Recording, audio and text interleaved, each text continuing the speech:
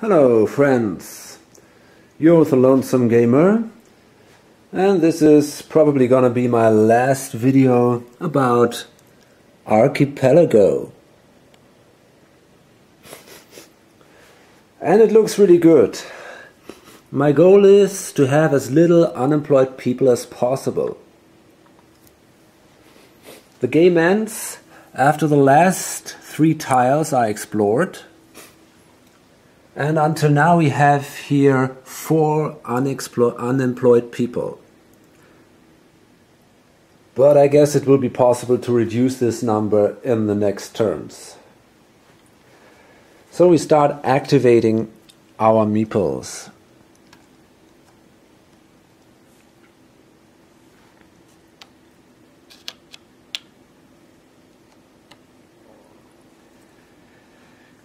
Here we go. Okay. And that one. Okay. And then we have the effects of this of these tables. We have one additional unemployed person here because we have too much stone. So this goes up to five. And then we have an additional one here because there are so many people, six and an additional rebel. Okay. And then we have to solve the crisis here. First there is a demand for wood, one wood for five people. So we have now 37 inhabitants on the archipelago 17 of them are on places with churches, on ties with churches. So in the end, we have to take care of 20 meeples. So we have to pay exactly four wood. So we can pay three from the local market and one from my own goods. And then we have to pay two fish from the foreign market. No fish is here in the foreign market, but we have exactly two fish.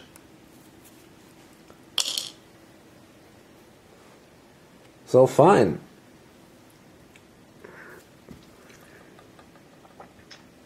Okay, that looks good. Now we come to the action phase. And first I'm going to collect some resources, I guess. I'm going to collect fish.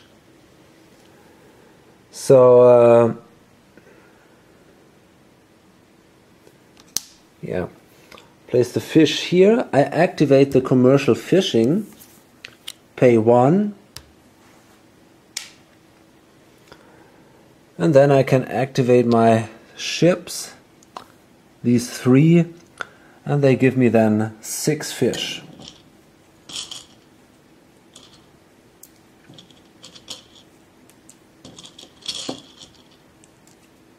Okay.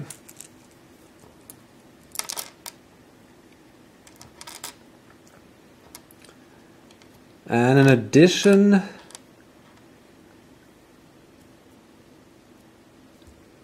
I might actually some sell some fish. Ah, uh, no, that's not possible in this turn. So I'm to pay one on the harbor here. And I'm to sell two fish to the foreign market. Or maybe it's even better to sell one fish and one iron. And that gives me then 14.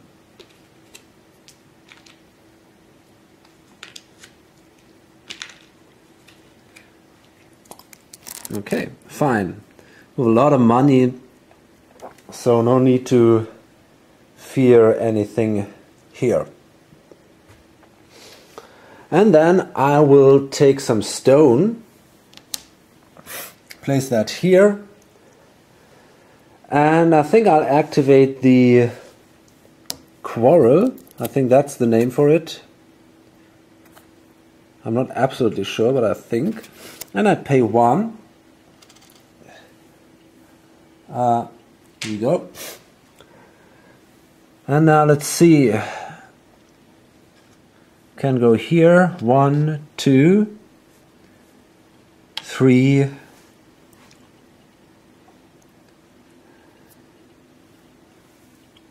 four. So that gives me eight stone. And there are just seven left, I guess. So three, four, five, six, seven. Oops. Okay. So now there is no threat that there could be any problems coming from a crisis. Then I'm going to hire some people. I'm going to hire three. So this goes down, one, two, three, and this goes up, one, two, three. And uh, I gain now three additional meeples, and I have to use the last the last color. So I'll place now one here and another one probably here and the next one here I guess.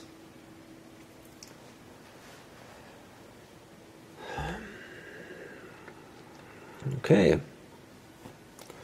And then I'm going to activate the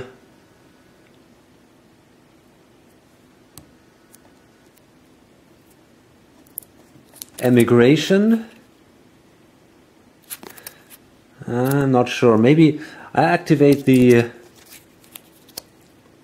the education and reduce the number of unemployed people by two. So it's now at one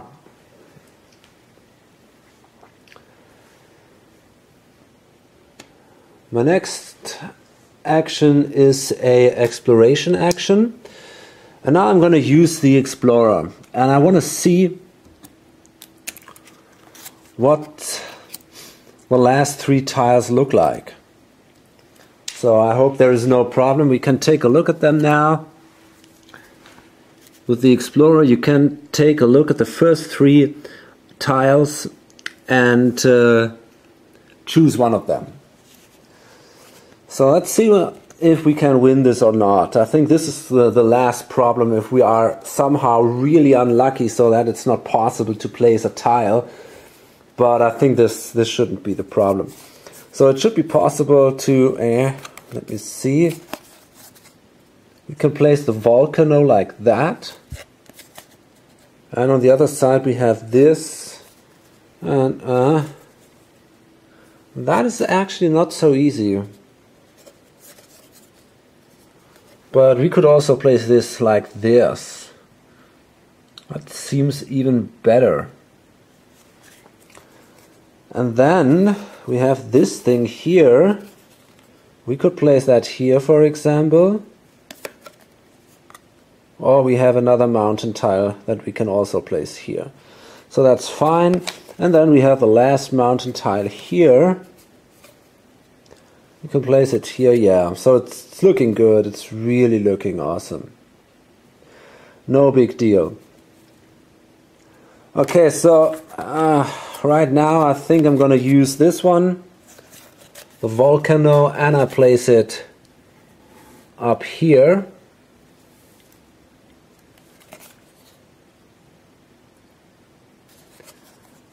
Uh,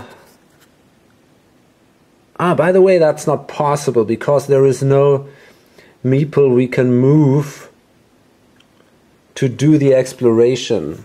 Ah, that's that's a little bad. But I can do a migration in the next turn, and so I could use this thing later. Okay, then I'll take another one, maybe that one. Yeah, that looks fine.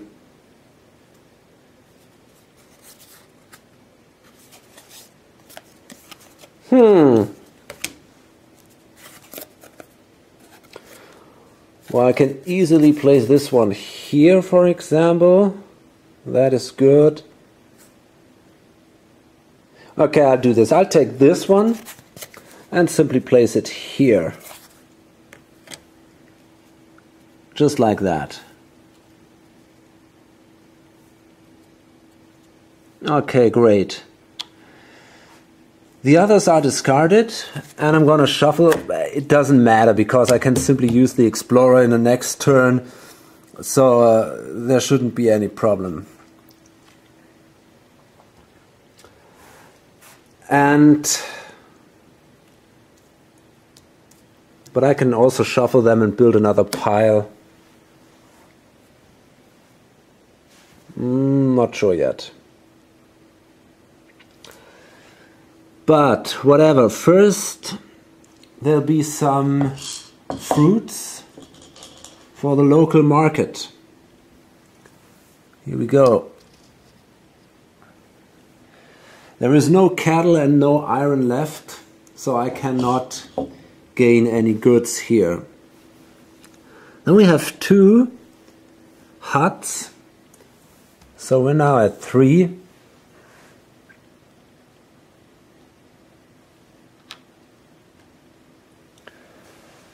And uh, yeah, that's. Oh, of course, I'll get an exploration marker. And then we're done here.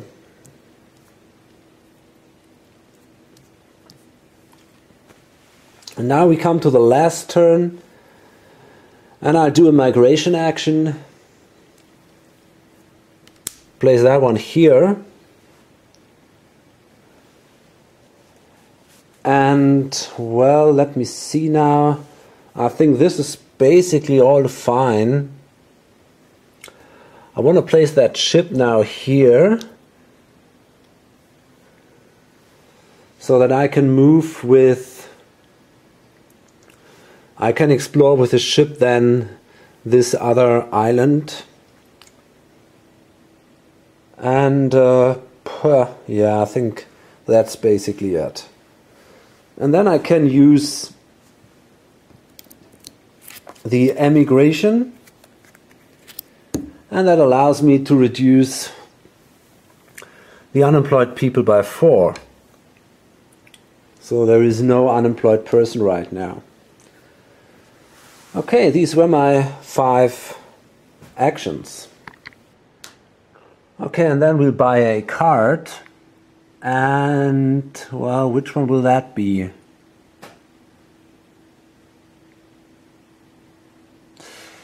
I could simply buy the the presence of the Clarus for five, and they allow me to to reduce the rebels by paying um, some resources. And that costs me five. And then I can turn two cards, and I think I will turn the Queen and the Assassin. Then I have to resolve another card. And that says false prophet. That's interesting. You can migrate one inhabitant per church. That's a great card. That's really interesting. But uh, sadly, it's now a little late. And there is no crisis, so it's all fine. And I will deactivate now my meeples for the next turn. Then we'll gain one this is probably the last turn, by the way. Maybe if I'm if I'm playing this clever. So we gain now an additional worker here. So we're at one, and uh, that's basically it, I think. And then we had we gain a new rebel and another worker. But because of the little workers, one rebel goes away now. So it's really looking good. Now we have to pay fish. There is a demand for fish. One fish is good for five meeples. Now let me check this again. We have now 40 meeples. That's quite a lot. So let me see. We have here a church with three. Another one with three makes six. Eight. 11, 14, 17. So 17 people are not affected because they're on a tile with a church. So that brings this down to 23. So we need to pay 5 fish to make everyone happy. We have 4 fish in the local market and enough fish here for myself. And then we have here this card, uh, this effect, that allows me to remove two rebels per church. So, and I thought I had four or five churches. One, two, three, four. Well, there are actually five churches, so I could remove ten rebels that's ridiculous. No problem at all. Fine. And then let's see what we can do now. So I think I will simply do a an exploration. And I shuffled these now again. And yeah, I mean, doesn't matter. I take the topmost tile here and I simply can place that here and then if I'm not completely mistaken I can place the other one there. Yeah, that should be no problem at all. Fine, so eh. So that tile goes here now. And I move with this guy right here. Oh my god. Great. Okay, and well, there is some wood left, so there is one wood for the local market, but nothing for me. And then there are two huts. So there are now four unemployed people.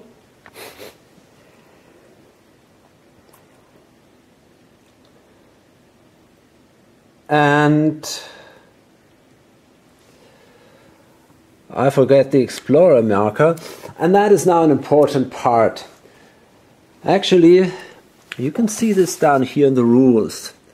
The first thing that happens if you explore is you place the tile. The second thing is you get the explorer marker. Then you give the uh, the, res the resources on the market, gain your own resources, and the last thing is you adjust the table with these um, unemployed workers. And now the game ends exactly at the moment when the last explorer marker is gone. So we have to remember that. Next time the exploration phase, I can place that thing, the tile, then I take the explorer marker before I adjust this thing, so the game then immediately ends. Okay, and uh, yeah, that was the exploration phase. And now I can play the uh, the emigration again, and I can remove now four uh, four of these, four unemployed people. So I have now zero unemployed people And now I can simply do my second exploration. And after hours of playing, it seems I come to a successful ending. I can take that thing, simply place it here. My ship moves then here. Eh. And I take that last exploration marker. And that's the end of the game. And now, as you can see, there is no unemployed person, and I can proudly say I made the gold result. So I'm really happy. I did that good, I think. I was, yeah. Great. Okay, just take a look over this wonderful board. I think this this looks really cool. Here the mountains, the lake here, the sea with some islands,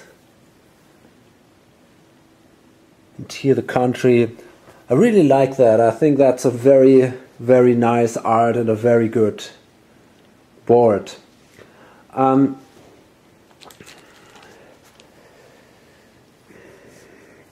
it seemed pretty easy. The scenario really seemed easy. I think the the the the basic the basic concept in this case was to go really slow. Not to become hasty, not to not to explore too fast. Always try to reduce the unemployed people and take care of the rebels see that you have enough resources, so everything is fine then. I was lucky at the beginning, I was really lucky that I found that card, that education card. That was extremely important, that improved my chances a lot. And a little later on, this emigration, that's also a great card if you combine these with some harbors. That is uh, very powerful then.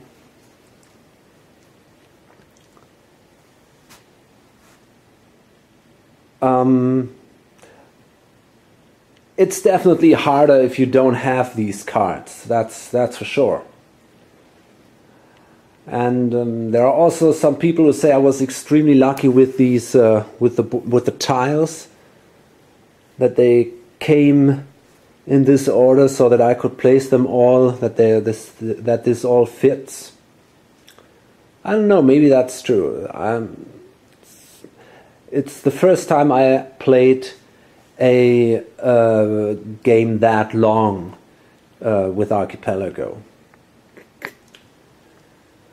But uh, as I already said, it, it doesn't have to be that well, kind of boring or so. I mean, it took me. You can see every every card is one turn. So I think these were about twenty turns or something. But uh, as you can see here, even with the long games, and that is a long game here, in this case, for example, you have to be uh, you have to finish in 10 turns and have as little uh, re rebels as possible. But here you got to be much faster. And in some, here for example, that's another long game you need three victory points. You gain victory points, uh, for example, by uh, building wonders. And here, you gotta be, you gotta try to be as fast as possible. Six turns or less, and you win. So, as you can see in this specific scenario, I could take as much time as I wanted. But that is an exception. Normally, you, yeah, normally that's not possible. In addition to this, you have here some short scenarios, and you can see they want you to do this in less than four turns or four or five turns. So there's really a big difference. You'll be much faster. Here it's the same thing. So there are lots of different scenarios and mostly you have to be really fast and every mistake you, you're doing uh, will will make you lose this game or maybe not lose this game uh, because losing normally means that you that there is a rebellion and it, it should be possible to prevent rebellions. But uh, if you want to reach uh, just some award you normally have to risk something and you got to be you got to play that fast and and might even come down to a rebellion then. So just a few words to this game. Until now i have not played it in multiplayer.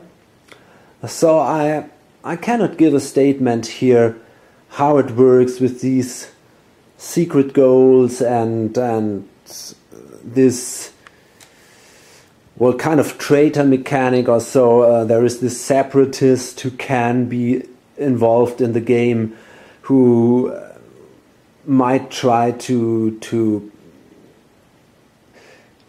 to push uh, the the rebels but um, as I said, I don't know that. There were some complaints about these uh, mechanisms, but I cannot say anything about that.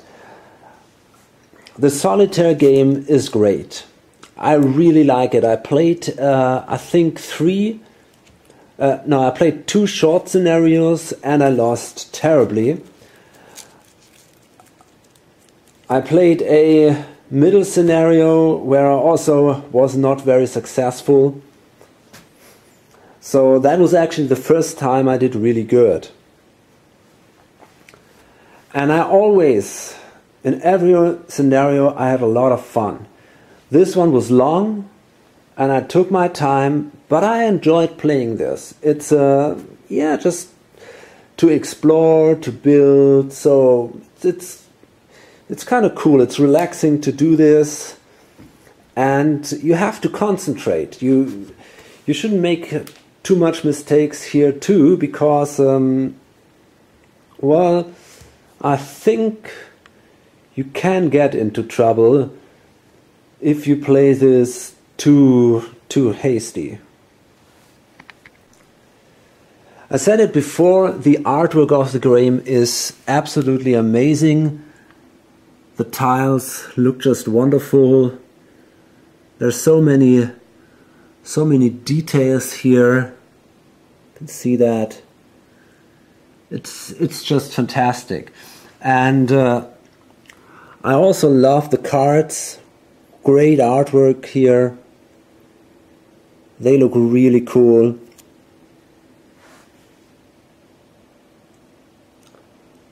So that, that adds a lot of atmosphere to this game.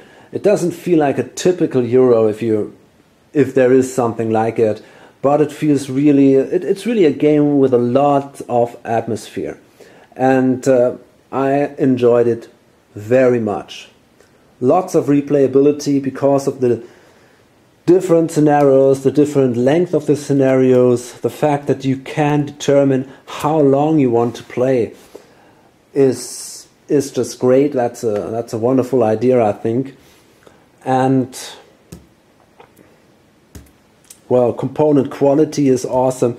So I think even though I'm more a Ameritrash gamer, I think this might become one of my favorite games. I think it's possible. If you get more and more into the mechanics, then you can also try the maybe harder scenarios, the short scenarios, and it's uh, really getting even more interesting, I think. So yeah, lots of fun, great game.